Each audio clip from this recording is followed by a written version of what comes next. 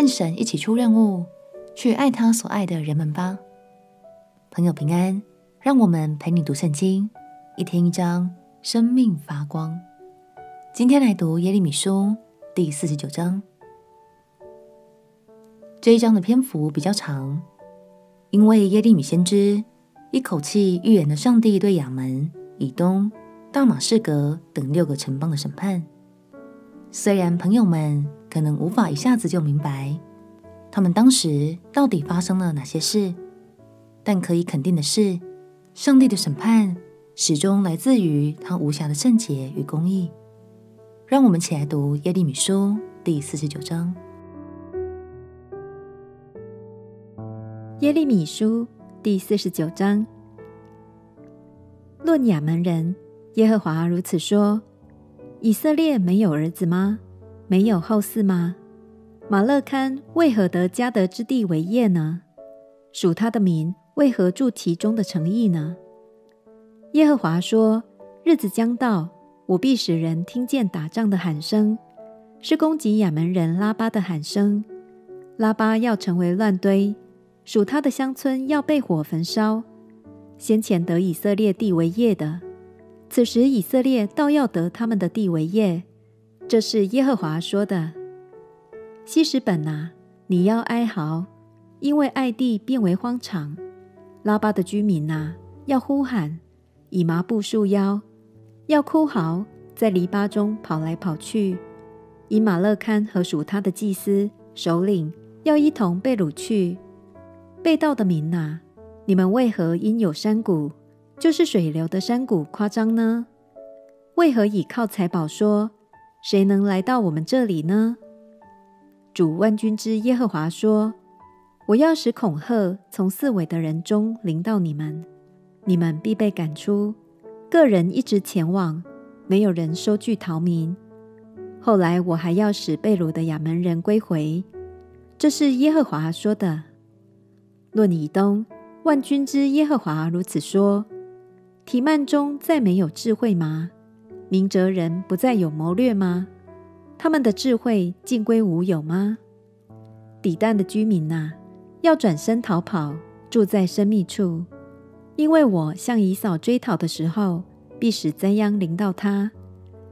摘葡萄的若来到他那里，岂不剩下些葡萄呢？盗贼若夜间而来，岂不毁坏直到够了呢？我却使以扫赤露，显出他的隐秘处，他不能自藏。他的后裔、弟兄、邻舍尽都灭绝，他也归于无有。你撇下孤儿，我必保全他们的命。你的寡妇可以倚靠我。耶和华如此说：原不该喝那杯的，一定要喝。你能尽免刑罚吗？你必不能免，一定要喝。耶和华说：“我指着自己起誓，波斯拉必令人惊骇、羞辱、咒诅，并且荒凉。他的一切诚意必变为永远的荒场。我从耶和华那里听见信息，并有使者被差往列国去，说：你们聚集来攻击以东，要起来征战。我使你在列国中为最小，在世人中被藐视。”住在山穴中、据守山顶的啊，论到你的威吓，你因心中的狂傲自欺。你虽如大鹰高高搭窝，我却从那里拉下你来。这是耶和华说的。以东必令人惊骇，凡经过的人就受惊骇，又因他一切的灾祸嗤笑。耶和华说：必无人住在那里，也无人在其中寄居。要像索多玛、俄摩拉和邻近的诚意倾覆的时候一样，仇敌必像狮子从约旦河边的丛林上来，攻击坚固的居所。转眼之间，我要使以东人逃跑，离开这地。谁蒙拣选，我就派谁治理这地。谁能比我呢？谁能给我定规日期呢？有何牧人能在我面前站立得住呢？你们要听耶和华攻击以东所说的谋略，和他攻击提曼居民所定的旨意。仇敌一定要将他们群众为弱的拉去，定要使他们的居所荒凉。因他们扑倒的声音，地就震动；人在红海那里，必听见呼喊的声音。仇敌必如大鹰飞起，展开翅膀攻击波斯拉。到那日，以东的勇士心中疼痛，如临产的妇人。论大马士革、哈马和雅尔拔蒙羞，因他们听见凶恶的信息，就消化了。海上有忧愁，不得平静。大马士革发软，转身逃跑。战惊将他捉住，痛苦忧愁将他抓住，如产难的妇人一样。我所喜乐可称赞的城，为何被撇弃了呢？他的少年人必扑倒在街上。当那日，一切兵丁必默默无声。这是万军之耶和华说的。我必在大马士革城中使火着起。烧灭便哈达的宫殿。论巴比伦王尼布甲尼撒所攻打的基达和下所的诸国，耶和华如此说：加勒底人呐，起来上基达去，毁灭东方人。他们的帐篷和羊群都要夺去，将幔子和一切器皿，并骆驼为自己掠去。人向他们喊着说：四围都有惊吓。耶和华说。下所的居民呐，要逃奔远方，住在深密处，因为巴比伦王尼布甲尼撒设计谋害你们，起意攻击你们。耶和华说：“加勒底人呐，起来，上安逸无虑的居民那里去。他们是无门无栓，独自居住的。他们的骆驼必成为掠物，他们众多的牲畜必成为掳物。”我必将剃周围头发的人分散四方，使灾殃从四围临到他们。这是耶和华说的。下所必成为野狗的住处，永远凄凉，必无人住在那里，也无人在其中寄居。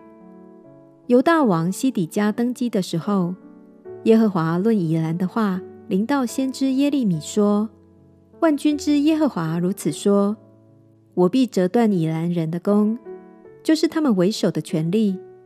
我要使四风从天的四方刮来，临到以兰人，将他们分散四方。这被赶散的人，没有一国不到的。耶和华说：“我必使以兰人在仇敌和寻索其命的人面前惊惶。我也必使灾祸，就是我的烈怒临到他们，又必使刀剑追杀他们。”直到将他们灭尽，我要在以兰设立我的宝座，从那里除灭君王和首领。这是耶和华说的。